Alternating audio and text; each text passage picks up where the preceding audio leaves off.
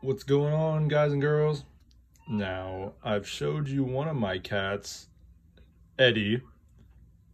Now, I'm going to be showing you my other cat, which I don't know if you just heard. She's meowing in the background because she thinks I'm talking to her.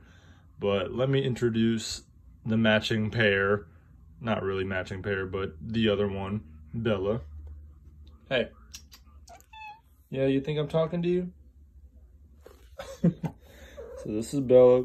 She's actually older than Eddie, the previous cat that I showed, uh, just by a few months or so. She's 11 as well, I believe. I think uh, I ought to know, right? No.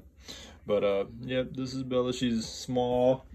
She's pretty hyper and she thinks that I'm talking to her because she wants to get her treats though that's why she's moving over here because she's addicted to these treats that I have um, that she really likes but she's a good cat she's always she's the sweet one the boy is the the menace that's always getting in trouble but she's behaved and really sweet and she'll do anything for these damn treats that I'll about that I'm about to give her so let me show y'all how insanely active she is for these damn treats. Uh, how am I gonna do this? Let's see here. Prop y'all up right here on the windowsill. This is where she likes to sit.